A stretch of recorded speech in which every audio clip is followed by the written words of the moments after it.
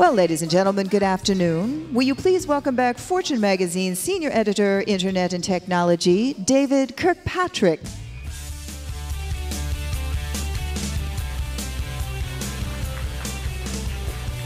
Okay, well, let's get more people in here, first of all. Is anybody out there? Please come in. Um, and uh, I don't know about you, but the lunch lab I went to was very dense, very multi layered. Uh, peace and diplomacy and technology is a very multifaceted topic, but we had some amazing ideas come up, and, and, and uh, there's some fascinating things going on. Um, Let's keep the doors open until we get more people in here. Let's keep that door open a little longer. Um, but that's not to say that we shouldn't all sit down, but we need the door. Maybe we leave the door open on the right and close the one on the left. How about, and then open the other one? No. Uh, thank you very much. Um, so, yes, a few more. Come, come, come, come, come. Uh, did we get any results? Oh, I guess we didn't of the uh, surveys yet. So, anyway, I'm pretty much, uh, I guess I'll get started. John Donahoe is CEO of eBay. Um, he got, he took that job in March of 2008, and uh, he's been making a lot of progress, revitalizing the company. Um, he's here in conversation with Adam Lashinsky, my colleague. Please welcome John Donahoe and Adam Lashinsky.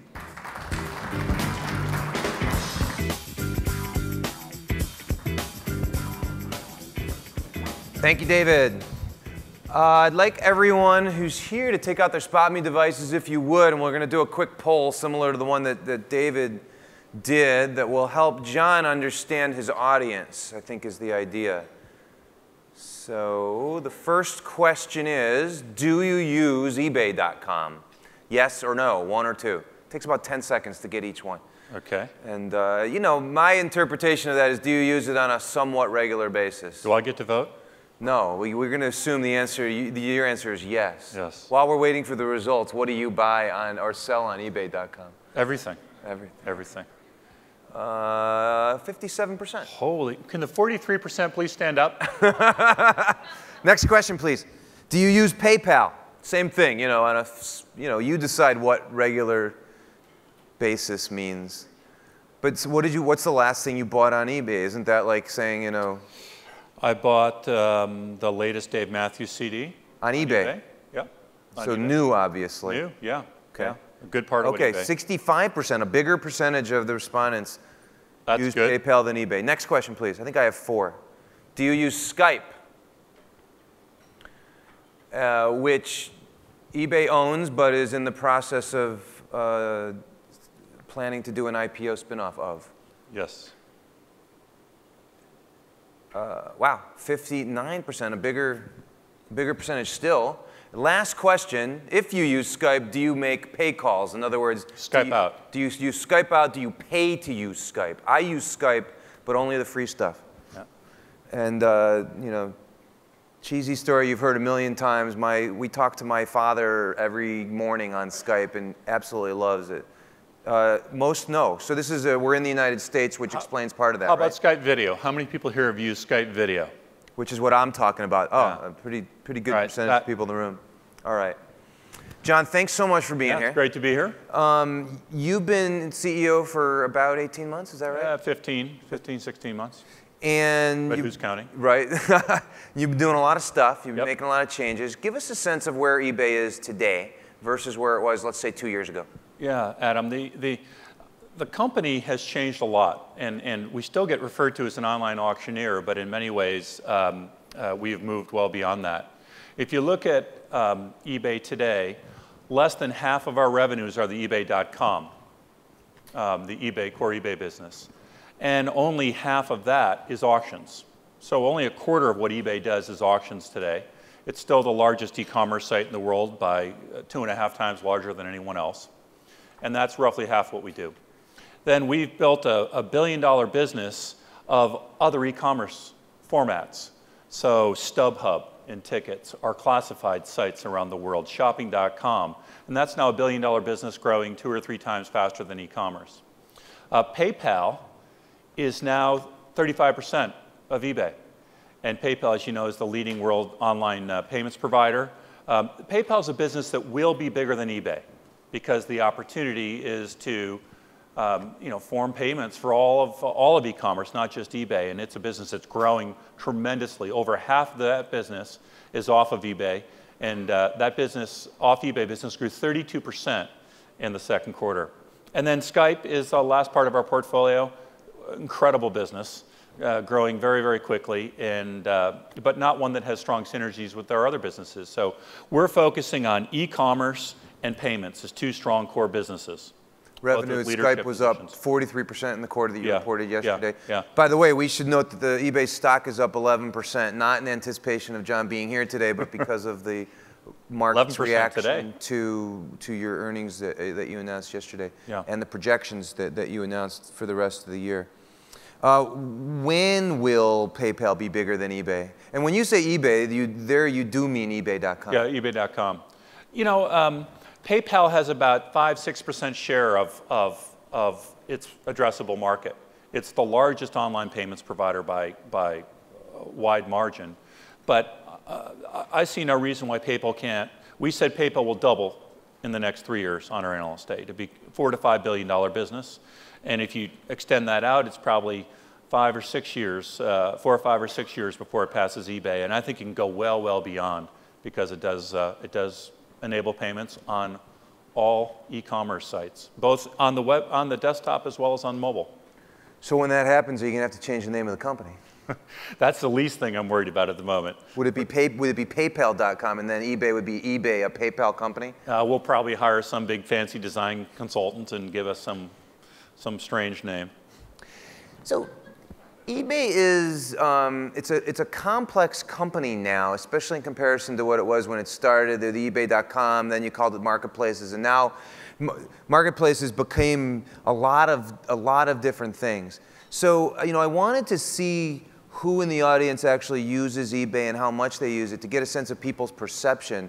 I, I, I talked to some of my some people in the room who are you know savvy people. I said, what do you what do you think of what do you think of eBay, the company? What should I ask John? And I, I, got a, I got some responses that you won't like, but I want you to sort of talk through that, talk through them with me. Sure. Uh, someone said, well, is it a growth company, or is it, uh, is he managing it to, to gently let it down, or is it a, a player in a larger Amazon world? Um, there's this struggle in, peop- in people's minds is can eBay regain the kind of growth that it once had? Uh, the, the, the praise from Wall Street yesterday was almost of a damning of faint praise nature. How do, you, how do you address those? In other words, they're not doing as poorly as they were doing. Well, here, here's what you got to keep in mind. E-commerce today is 5% of offline retail. And the natural landing point of e-commerce, I believe, is somewhere between 15 and 20%. If you think about it, what portion of everything you buy will you eventually buy online? And so we're still in the early days of e-commerce. It's, it's a, it's a 10-year-old industry, 12-year-old industry uh, that could easily could double over the next five years. And so there's going to be room for multiple winners and, and, and a lot of growth.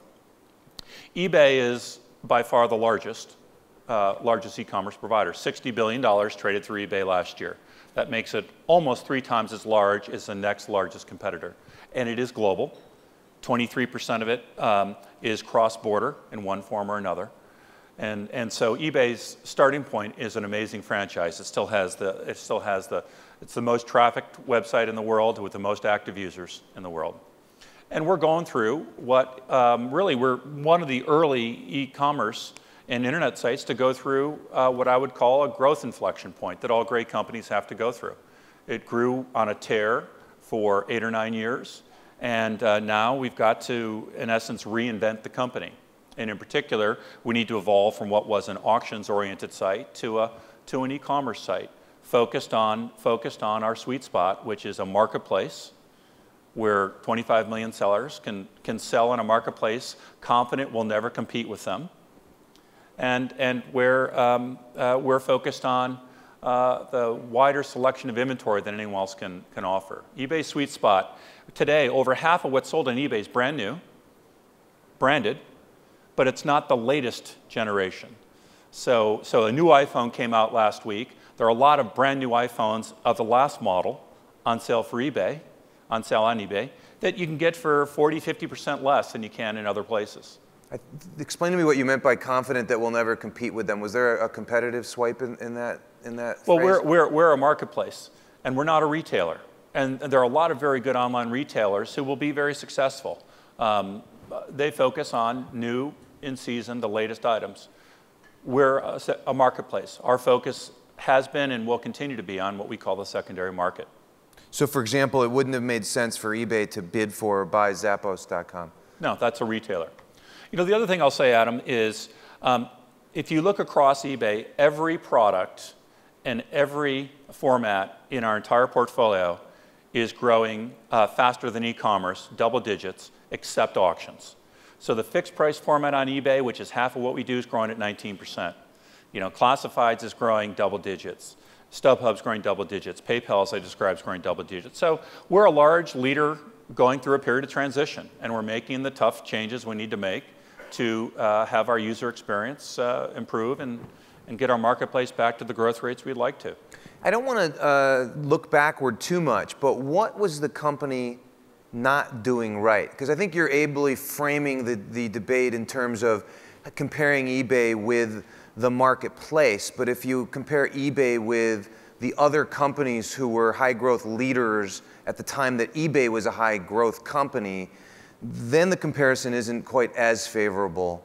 So what wasn't eBay doing right at the time? That what have you had to change about the company? Well, eBay faced a classic innovator's dilemma. Um, it was experiencing explosive growth. And, and this can happen on the internet. You see it time and time again where, where a business model hits and experiences global growth, and eBay did a fabulous job of scaling that growth around the world. But uh, during that period, you can get so focused on scaling the current business model that innovation slows down. And, and in, in simplest terms, our user experience just didn't keep up. The user experience that was the source of that explosive growth, uh, innovation was happening all around it. And so um, what we've had to do is go back over the last really 18 months and make some real fundamental changes to our user experience to ensure that it's competitive in today's, in today's market and in tomorrow's. But um, I, have written about this. So a, your career was in management consulting, and so you have a, a broad view of the business world. And eBay developed a, a, a, management consultant culture. So were there too many management? Are there too many management consultants and too few great product people? I mean, I'm, what I'm trying to learn is how do you? You're essentially saying, and not these words, you didn't have the right product people. Do you have the right product people now, and how did you, how do you do, how do you make that transition? Well, one of the things I'm doing is elevating the role of technology in our company. Uh-huh. And so um, we are bringing more senior software architects and technologists into the company and putting them more at the table for product design.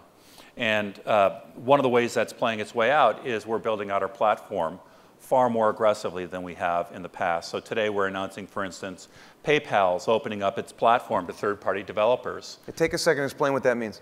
Well, PayPal, um, as you know, is the leading online payments provider. And uh, today we'll be the first online payments company and the first payments platform that's opening up to third-party developers. And what this means is there's the potential for explosive innovation and growth on top of the PayPal platform.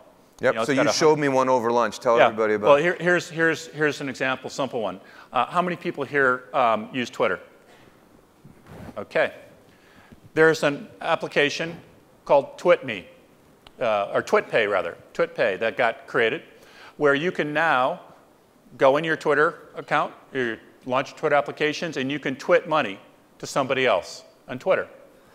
And so it's a currency where you can move money on Twitter uh, the way you get the money out of Twitter is via PayPal. Um, but you don't have to bring it out. You can continue exchanging it back and forth. And this is a great example where PayPal's the underlying payments platform, but to use the product, you don't need to know someone's PayPal um, ID or you don't need to use your PayPal password. Mm -hmm. You can use it within the Twitter context. And TwitPay is a third-party developer. They don't third have a relationship developer that just developed this on the PayPal platform. So I think what you're going to see on PayPal is analogous to what you saw on the iPhone, where there'll be hundreds and over time thousands of different applications that will embed payments. Uh, you know, another example is uh, there's an application on the iPhone called uh, split the bill, or bill split, I forget the exact name, where four or five friends go to dinner and you say you want to split the bill, right? And it calculates it. That's well, you're going to be able to press that button in PayPal. You'll be able to receive money and send money um, uh, instantaneously. And PayPal's application today on the iPhone is, is a very, a very um, uh, simple and easy to use send money application for those that haven't used it. And $15 billion a year goes through person to person payments on PayPal. And so this, if I send you money using TwitPay, um, who get, does anyone make money on that? Currently, the sender or the receiver has to pay a fee, but that will go away in six months when it gets out of beta. And so uh, peer-to-peer payments on PayPal are free um, when, you, when you have it funded out of your bank account or out of your debit card. What's Bill Me Later and why is it uh, not profitable? Uh, Bill Me Later is a, is a really exciting transactional credit company. Um, and it's a classic intersection of a financial services company and the internet. Because most credit providers say, all right, Adam, you've got a $2,000 line of credit, and, and you can uh, call off that. What Bill Me Later does is transaction by tra- transaction makes a decision about whether they'll extend you credit. And all you have to do when you use Bill Me Later is put in your birth date and the last four digits of your social security number, and within less than a second, they'll make that underwriting decision. So this has been a business that has grown uh, tremendously. It's got nice traction uh, with merchants, and so we bought uh, we bought Bill Me Later last fall, and it's um, it's adding to our PayPal franchise in a very positive way. It sounds risky in a time of, uh, you know, where risky credit is a scary topic. Well, they've done a great job on credit risk. Uh, because they're only underwriting transaction by transaction, um, it allows for a far better underwriting decision. And, and as a result, uh, uh, Bill Me Later's uh, credit loss performance, n- net profit margin, which is the way you calculate that, is significantly better than the rest of the industry. And it's, so we feel it's we- diluting PayPal because you're investing in it, is that? well, it's, yes, it's, it, their margins are lower than PayPal's currently, and, as they're growing. So it, it's pulling down PayPal's margin in the short term. And um, stick with acquisitions for just a moment. I mean, eBay made one epic ac- acquisition, acquisition of PayPal, and, and you know a few stinkers along the way, depending on how you define stinker. You, the, your big, a big one you made was Gmarket in South Korea. Is that right? Yes. Do you need to make other acquisitions in other parts of the world to build out eBay's global franchise? Well, we- we're a strong company. One of the one of the nice things you have, we we were talking earlier. We you know we generate about two to two and a half billion dollars of cash flow a year. We generated a billion two in cash flow in the first 12, six months of this year, toughest economic environment, and we have a strong balance sheet. And so where we see opportunity to to strengthen our core eBay business, the core e-commerce franchise, or uh, the payments uh, business, we will. And so we bought Bill Me Later for a billion dollars in the fall, and we spent a billion two buying Gmarket, which really extends our leadership position in e-commerce in Korea. Because eBay Korea and Gmarket were the number one and two competitors in the Korean market, um, both marketplaces, and, and uh, that strengthens it. So we'll continue to take advantage of our strength, and, and uh, especially during this period of time where, where others are feeling challenged. You know, it's worth lingering over these numbers for a moment. You know, given the you know the disparaging comments that I threw at you earlier, you you, you did you, you generated 600 million dollars of cash, free cash flow, in the last quarter alone. You've got three Yes. billion dollars of cash on your balance sheet, Yes. and you're so you're, in other words, you're adding two billion a year. Yes. You got to figure out. You either have to make more big acquisitions or figure out something to do with that cash, or let it build up at uh, three percent interest or something. You know, we've been very disciplined about, uh, about what we've done with our, with our balance sheet. Um, we first focused on organic growth. Um, and so we make the investments we need to make in, in our company to, to strengthen it. Uh, then we make acquisitions that strengthen our core business. And then if there's any excess returns, we'll either buy back our stock or find other ways to return it to shareholders. Would you pay a dividend? You know, I think the internet's too young to have a dividend. The, the, one of the exciting things about the internet is innovation is accelerating. I mean, the, the pace of change. Think about this. Think about um, 10 years ago when you walked into a department store or walked into any retailer and you paid with your credit card. Walking in today, it's virtually the same experience. You walk into a store and the, the commerce and, and paying are, are very little change in the last 10 years. Think about 10 years ago in e-commerce. Browsing on eBay was considered a cutting edge experience.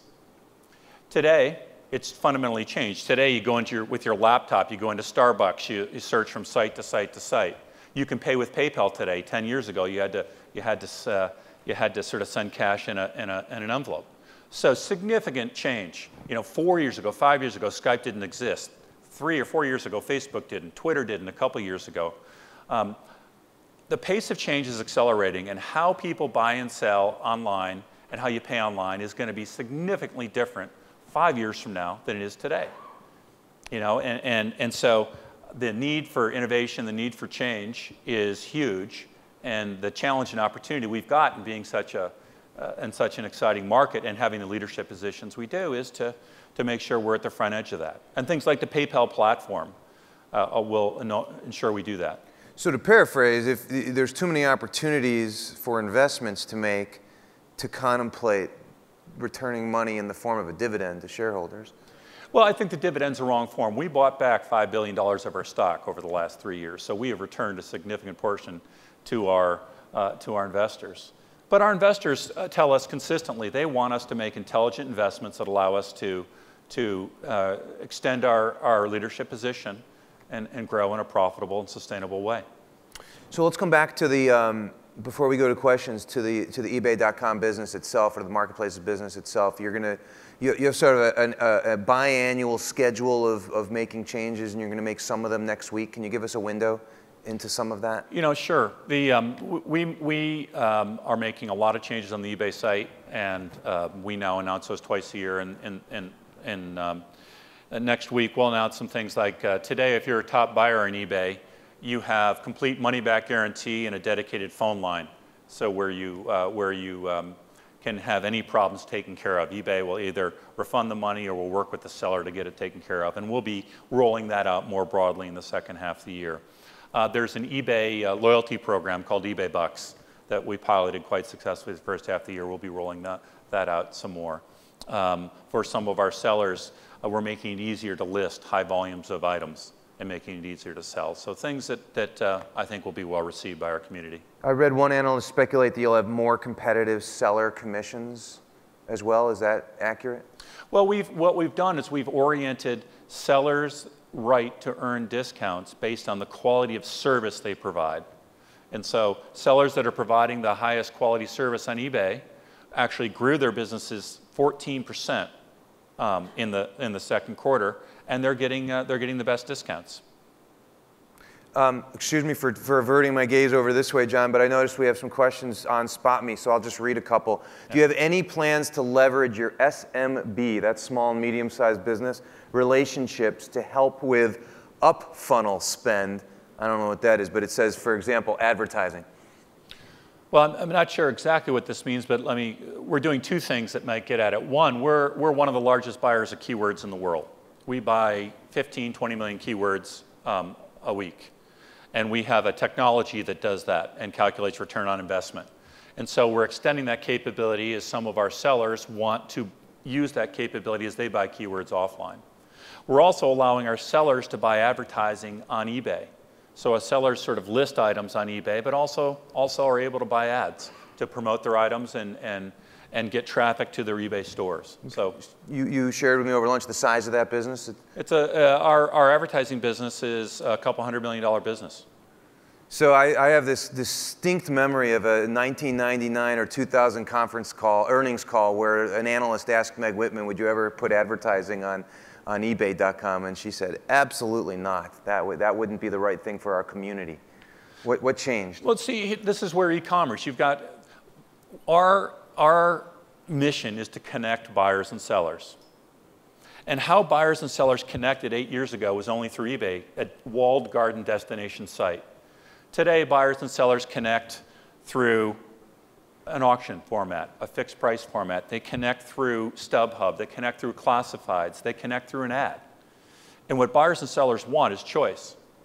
A seller wants to be able to uh, choose whether they sell it on a listing on eBay, sell it on a listing on one of our classified sites, or sell it on, uh, uh, put an advertisement on. And so we're, to, e-commerce is changing fast enough, we think it's a real strength to have multiple formats and have the flexibility to offer that choice to, to buyers and sellers. And that's what allowed us to you know, build a billion dollar business off of uh, billion dollar e-commerce business off of eBay really only over the last five years. And additional revenue streams are always a good thing.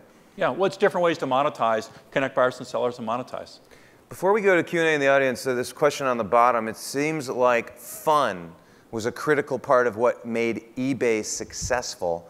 What are you doing to bring the fun back? Well, the, the, here's where I think we, we lost our way a little bit. We thought fun could overcome a, a less than optimal user experience. And so we are restoring trust back to eBay in a way where people can have a trusted experience, and then you can layer fun on top. And where fun comes in eBay is from the sellers, from the community. You know, 25 million sellers. We have business sellers, but we have a lot of consumer sellers and small sellers that bring, bring items onto eBay that you otherwise could, couldn't find anywhere else, who bring that character and personality and, and, and um, oh, just fun to eBay that you couldn't find anywhere else. So I think that will show through more and more as we, as we get the user experience clean, and, and it'll always be an important part of who we are. Questions? David. I'm not shy. Um, it's well known that Facebook is working on a payments system. Uh, how do you think that would affect PayPal? Well, here, here's what I think the evidence would say. Being online payments provider, you need to be part payment system or financial services concern and part internet company. And PayPal is the only company that's actually successfully bridged both. So there are a lot of payments companies that are struggling to get online, and there have been some very high profile internet companies that have tried payments and, and struggled. And, and you do need both. So PayPal has banking licenses in dozens of countries. PayPal connects directly into 15,000 banks around the world. PayPal has world-class financial services and payments risk detection programs that were built by losing tens and hundreds of millions of dollars in their early years. And PayPal's built as a technology platform. And so by opening up our platform, I think you'll find people will um, find a much better solution building on top of the PayPal infrastructure and platform. So is that a way of saying it could intersect somehow? I think you'll see, um, uh, and I, I, don't know Facebook's plans, but I think you'll see others building on top of the PayPal platform and building applications like TwitPay TwitPay is a great example because what Twitter wants is the ability to have its community send money back and forth over the, the Twitter communication. They don't have to worry about any element of the loss, the risk, and the, the, the, all the elements that come with moving money. They can build on the PayPal platform. And I think you'll see more and more applications. I was saying to Adam, we had lunch, I was saying, it's, we're not many years off where the restaurant will, will just send the bill to your, to your smart device They'll just send the bill to your smart device and you'll pop it back. And PayPal will be the platform that powers that. And the restaurant can build whatever application they want on top. And, and so I think the kind of innovation you're going to see in payments is going to be, I think mobile payments will be large. And I think a lot of that will be built on top of the PayPal platform because it doesn't pay to rebuild that. It, uh, payments is a winner take all business. And I think PayPal is very well positioned. And you, you, you might point out that your friend, your corporate friend Google has shown that it's a difficult thing to build one of these from scratch?